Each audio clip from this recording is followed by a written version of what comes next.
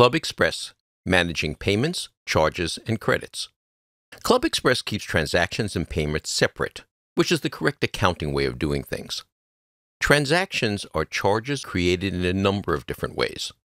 For example, a charge is created by the membership wizard during a membership sign-up or renewal, and if money is not due, the charge will be zero. This might be a member signing up through the website, or by an administrator or coordinator adding or renewing a person through the member manager. Transaction charges are also created for several other activities, such as event registrations, when donations are accepted, ad hoc forms are submitted, or store purchases are made. Credits are automatically created, for example, when refunds are issued, perhaps for canceled event registration. Administrators can also create miscellaneous charges and credits as needed. Let's explore some of the tools available to manage your club's finances on a daily basis.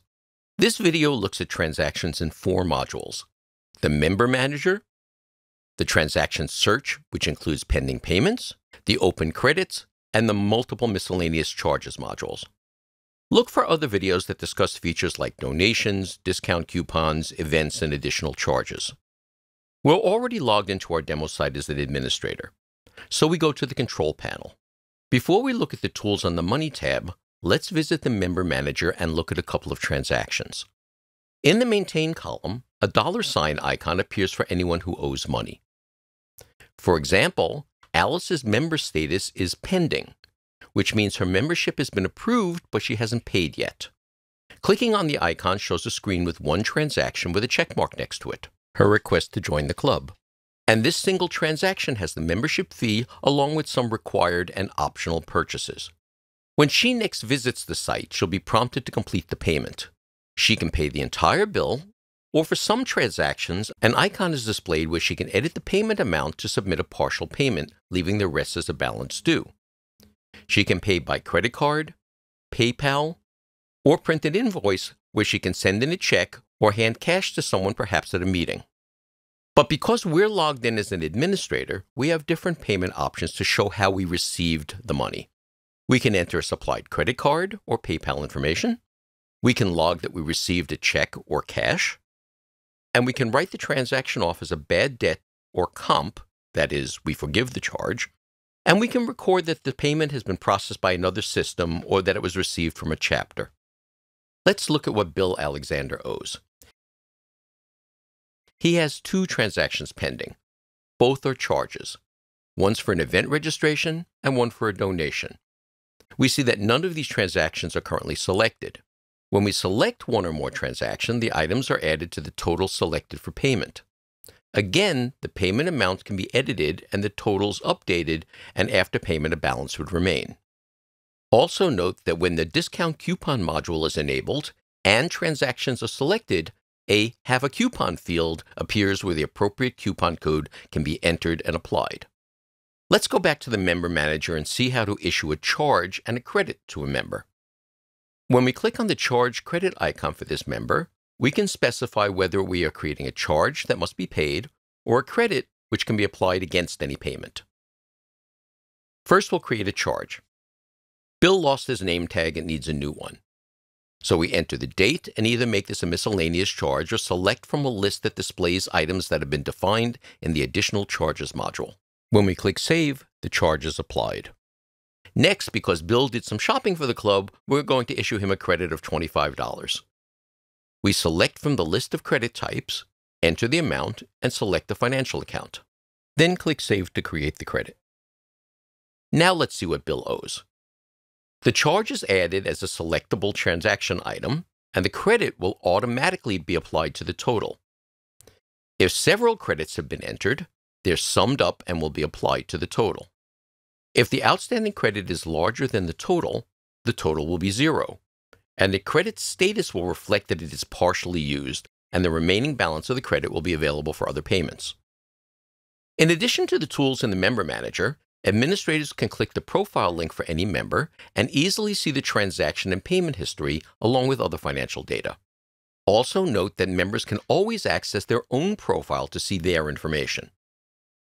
Administrators can do similar operations and see financial data for non-members. Click on the Non-Member Database item in the Control Panel's People tab. Then click the More Options icon for a non-member. From there, you can view and manage many items using the same tools as for members. Now let's take a look at the first few items on the Control Panel's Money tab. Click Transaction Search Pending Payments to see a screen that has two primary functions, and they're defined by the first set of radio buttons. You can search for transactions and payments, or you can record bulk payments that apply to multiple pending transactions. When you select Transaction Payment Search, you can use the options to filter the search in multiple ways. You can enter criteria into more than one field, and the system will find transactions that match all the entered values. The list can be limited to all transactions, paid only, or unpaid only. You can include everyone or limit the list to members only or non-members only. You can also limit to last name, member number, or transaction reference number. In this example, we'll look at all transactions for the past few weeks. We can specify the dates by selecting the custom date range from the Transaction Date drop-down menu of commonly used date ranges. Note that the end date cannot be in the future. You can also choose the result sort order. Here we'll sort by last name. When we press Search, each transaction is shown separately, including the person's name and whether or not they're a member, the transaction type, date and reference number, the transaction amount, and status. Note that event registrations that do not incur a fee are listed with zero as the amount. Individuals with more than one transaction will be listed multiple times because the transactions are not aggregated. 30 transactions are shown at a time, and paging is enabled. Note that if your club or association has subgroups, this screen is available to subgroup administrators. It will automatically be filtered to just the members or non-members assigned to the subgroups managed by that administrator. For each result, there are icons in the Maintain column. Keep in mind that it's easy to switch between all transactions, paid, and unpaid by changing the transaction status, then clicking Search. All transactions display a receipt icon. Clicking it displays a receipt for this transaction in a pop-up window. The receipt shows the details of the transaction, including the individual transaction items and any payments made against the transaction. The next two icons only appear for unpaid and partially paid transactions. Clicking the Make Payment icon displays the Make a Payment screen that we saw earlier. Clicking the Invoice icon shows a standard report dialog with reports formatted for different envelope types. The transaction invoices include only the selected transaction, and any other transactions for that member will be ignored. But the member invoices include all open transactions for the selected member. Now let's look at bulk payments. Bulk payments allow you to select multiple transactions and record a single payment that will be applied to all of the selected transactions. When the Bulk Payments radio button is selected, the search screen changes slightly. When you click Search, the result list shows only unpaid and partially paid transactions. There may be multiple transactions for one member or non-member, or multiple transactions from a single company that are being paid with one check. Each transaction has a checkbox on the left side to allow you to check one or more transactions. A running count and total are maintained to the right of the grid. When the amount reaches the amount of the payment to be recorded, click the Bulk Payments button. Select the payment method and enter any other information as appropriate. Then click Apply Payment to record your payment against all of the selected transactions. Note that the credit card option is not available for bulk payments. Also, all the selected transactions will be marked as paid in full, and these transactions will be removed from the bulk payment screen. You can also click the Invoices button to print an invoice for all checked transactions. Several invoice reports are available. The invoice will be formatted for a standard number 9 or number 10 window envelope. Each check transaction will be printed on a separate page suitable for individual mailing.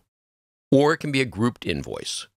Check transactions are combined and totaled into a single invoice that's mailed or emailed to a single address. This option is suitable for multiple transactions belonging to a family or a company. When this option is used, check transactions are not removed from the unpaid transactions list since the payment has not yet been received or recorded. Now back to the control panel. When you select Open Credits, the screen shows open credits that can be applied to transactions. The list includes the date, member, description, status, amount, and balance. You can add a credit or edit an existing open credit.